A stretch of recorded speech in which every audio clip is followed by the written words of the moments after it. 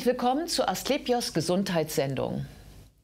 Heute sprechen wir über Babys, genau genommen über Babys, die zu früh auf die Welt gekommen sind. Solche Frühchen haben mit einer Reihe von Schwierigkeiten zu kämpfen und sie brauchen eine besondere Geburtsnachsorge. Und darum geht es jetzt. Bei mir ist Dr. Cordula Walitz. Sie ist Chefärztin der Pädiatrie an der Asklepios Klinik Parchim. Schön, dass Sie Zeit haben. In welchem Fall genau spricht man von einem Frühchen eigentlich? Ja, da kann man äh, zwei Unterschiede sozusagen machen. Einmal ähm, sagt der Gesetzgeber, alle Kinder, die mit einem Geburtsgewicht unter 2500 Gramm geboren werden, sind Frühgeborene. Und wir in der Medizin ähm, ja, äh, definieren das noch etwas genauer. Ähm, bei uns ist es so, dass wir sagen, alle Kinder, die unter der 37. Schwangerschaftswoche geboren sind, also mit 36 Schwangerschaftswochen und sechs Tagen und alles, was darunter liegt, äh, ist man ein Frühgeborenes. Also vier bis fünf, also ab vier Wochen zu früh rückwärts sozusagen. Genau, genau. genau ja. Also 40 Wochen ist ja die normale Schwangerschaft und wenn man vier Wochen davor geboren wird, äh, beziehungsweise drei und etwas darunter, dann ist man ein Frühgeborenes. Ja. Ähm, die Tatsache, dass man zu früh auf die Welt kommt, ist ja nicht nur ein zeitliches äh, Thema, sondern das hat ja Auswirkungen, glaube ich, auf die Entwicklung ja auch des Körpers. Was sind denn die klassischen Probleme, mit denen Frühchen dann zu tun haben? Oh, das ist ein, ein, großes, breites Thema. Es ist ja nicht jedes Kind, was etwas, etwas zu früh kommt. Also ich sage mal, ein Kind, was jetzt vier Wochen zu früh kommt, wandert meistens so durch. Die werden geboren, werden noch ein bisschen betreut, weil die noch so die ein oder anderen haben vielleicht mal ein Blutzuckerproblem ähm, oder tun sich noch ein bisschen schwer mit der Nahrungsaufnahme, sodass sie noch ein bisschen betreut werden. Es kann mal sein, dass sie mal einen Atemaussetzer haben. Deswegen werden solche Kinder noch ein Weilchen in der ähm, Klinik ähm, beobachtet und betreut und gehen dann aber auch relativ zügig nach Hause. Es kann auch mal einfach nur eine Woche sein oder sowas. Ähm, Kinder, die dann unterhalb der 32. Äh, Schwangerschaftswoche sozusagen geboren werden, das sind dann schon äh, extremere Frühgeborene, die auch noch einige Probleme mit sich bringen können. Und da gibt es verschiedene Organsysteme, weil diese Kinder sind einfach noch nicht ganz äh, so vorbereitet für äh, das Leben sozusagen außerhalb äh, des Mutterleibs. Und ähm, da kann es Probleme am Gehirn geben. Also es kann mal zu Hirnblutungen kommen. Es kann sein, dass äh, die Lunge, die eben ja auch noch nicht darauf vorbereitet ist, jetzt schon Luft zu atmen, die ja eigentlich noch eine ganze Weile äh, noch in dem Fruchtwasser gelegen hätte, ähm, die bringen manchmal Probleme. Ähm, die Augen können mal ein Problem darstellen und der Magen-Darm-Trakt ist im Prinzip auch noch nicht auf die Nahrung, die dann später äh, die Kinder bekommen, vorbereitet, sodass da so ein paar Sachen auf sie zukommen, die wir dann äh, in der Zeit, in der sie dann in der Klinik liegen, dann halt begleiten müssen. Begleiten äh, heißt begleiten heilen? Also ähm, ist es, ist es eine, eine Fantasie, dass man äh, nach der Geburt ähm, alles noch so gerade rücken kann, als wäre das Kind nicht ein Frühchen gewesen? Also wir heilen ist vielleicht nicht der hundertprozentig richtige Begriff, aber wir haben in der Zwischenzeit äh, viele Dinge in der Medizin entwickelt, ähm, die die Kinder so begleiten können, dass sie äh, einen guten Weg können, also gehen können. Also ja. Also dass sozusagen die Kinder dann doch häufig auch gesund aus so einer frühgeburtlichen Situation herauskommen. Ja. ja. Ähm, woran merkt man denn unter Umständen auch in späteren Jahren, dass das Kind vielleicht zu früh auf die Welt gekommen ist? Also deutlich zu früh? Ja, also äh, Voraussagen kann man das nicht. Also mhm, es hat Klar. nichts mit der, mit der Woche zu tun, dass man sagt, okay, ein Kind, was in der 26. Schwangerschaftswoche geboren ist, ist auf jeden Fall irgendwie beeinträchtigt äh, im späteren Leben. Das kann man so nicht sagen. Und es kann genauso gut sein, ein Kind, was nur zwei Wochen zu früh gekommen ist oder sowas, hat niemals Probleme. Also das ist, äh, da haben wir keine Möglichkeiten, das so zu vorauszusagen. Aber wenn es äh, Probleme gibt, mh, dann können das mal kognitiver Art sein, es können motorische ähm, Probleme auftreten. Häufig verwechselt sich das aber, ja. ähm, aber dafür dient eben auch dann die Nachsorge, dass man äh, da ein bisschen einen Blick drauf hat, wenn die Kinder äh, aus der Klinik entlassen werden, dass man da mhm. sozusagen das begleitet noch. Aha, und dass äh, zum Beispiel die, die Lungenfunktion, die dann zu früh in, Aktion, also zu, zu früh ähm, in Gang kommen musste durch die Geburt, mhm, genau. dass dann vielleicht später das Kind Asthma das kann mal sein, das muss nicht unbedingt Asthma sein, aber was manchmal schon tatsächlich ist, dass solche Kinder infektanfälliger äh, so in, im im Bereich der oberen Luftwege ist. Also dass das Kind eben häufiger mal so eine Bronchitis hat, so das kennt man ja den Begriff, oder ja. ähm, doch auch mal eine Lungenentzündung oder etwaiges oder eben einfach empfänglicher für solche Infekte ist. Ja. Ist aber häufig in den, erst, in der ersten, in ersten Jahren, ähm, die das Kind ähm, auf der Welt ist und oftmals verwechselt sich auch so ein bisschen.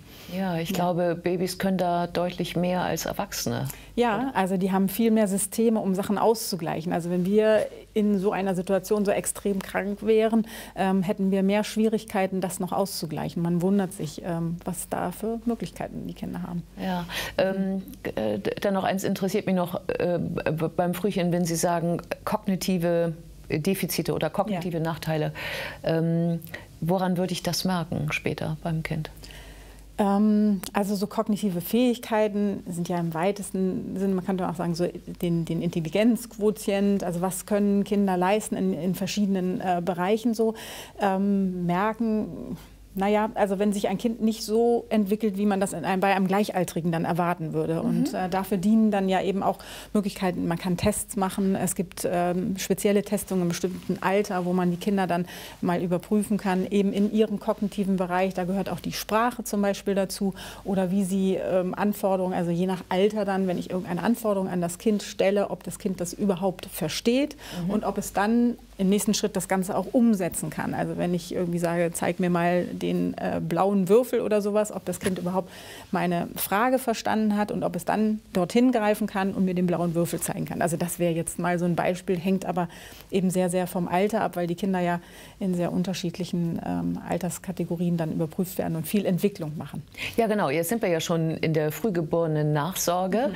ähm, denn da werden ja, glaube ich, genau diese Tests gemacht, äh, von mhm. denen Sie gerade gesprochen hat, haben. Also nochmal, also was genau, wenn jemand zu Ihnen kommt, äh, zu frühgeborenen Nachsorge, was testen Sie am Kind? Ja, also vielleicht muss ich mal einmal ganz kurz ausholen, wenn jemand äh, zur Nachsorge kommt, ähm, dann sind das Kinder, die eben unter einer, einer bestimmten Grenze, unter der 32. Schwangerschaftswoche geboren sind und dann nach Hause gehen und nachdem sie zu Hause sind, kommen sie so etwa drei bis vier Monate danach, also zu dem Zeitpunkt, wo sie eigentlich geboren werden, drei Monate später kommen sie dann in, das erste Mal in die Nachsorge. Da sehen wir die Kinder dann.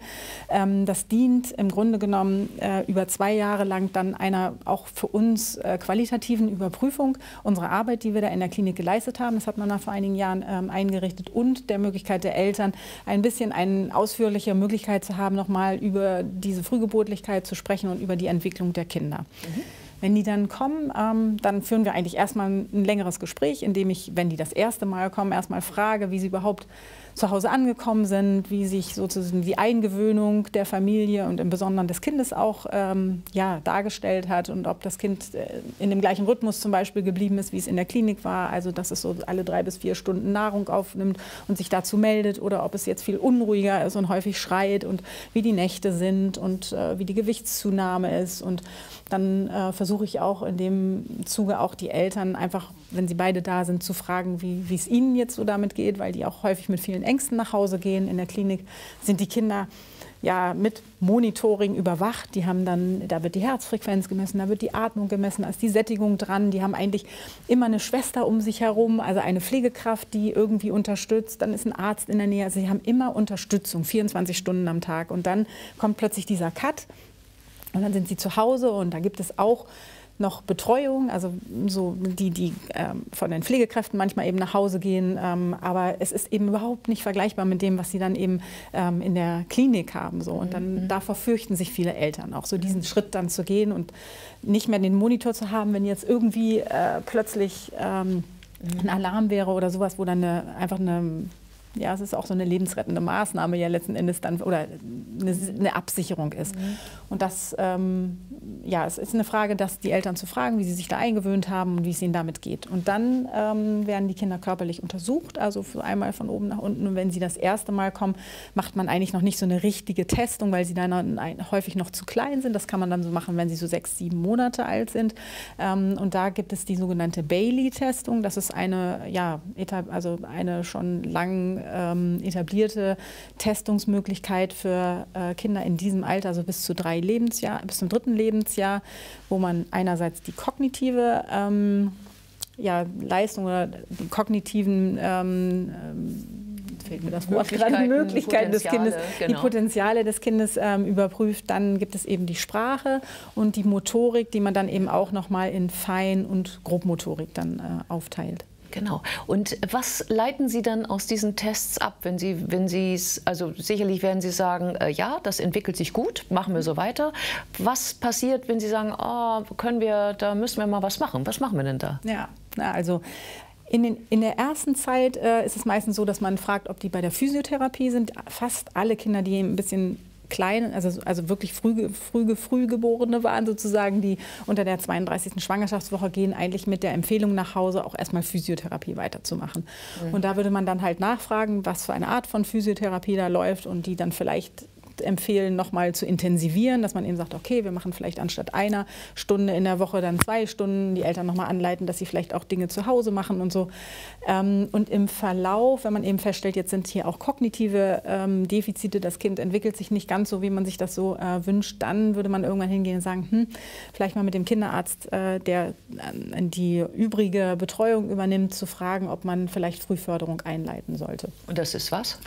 Frühförderung ist ähm, eine Möglichkeit, die Kinder sozusagen ähm, noch etwas ja, grob gefächerter zu äh, begleiten. Also da gehören auch äh, Physiotherapie da, äh, dazu, da gehört zum Beispiel Ergotherapie dazu oder ähm, äh, Logopädie, aber eben auch Heilpädagogik, ähm, sodass diese Familien dann entsprechend ein bis dreimal in der Woche äh, begleitet werden. Da geht zum Beispiel auch so eine Heilpädagogin dann nach Hause mhm. und macht spielerische Förderung für die Kinder, damit sie ähm, in ihrem Bereich, wo sie gerade sind, abgeholt werden. Also da gibt es dann ganz viele Möglichkeiten. Da müssen sie dann zu einer Stelle, wo eben auch ein Arzt sitzt, der quasi das einmal ähm, einschätzt, äh, wo die Kinder sich jetzt befinden in ihrer Entwicklung.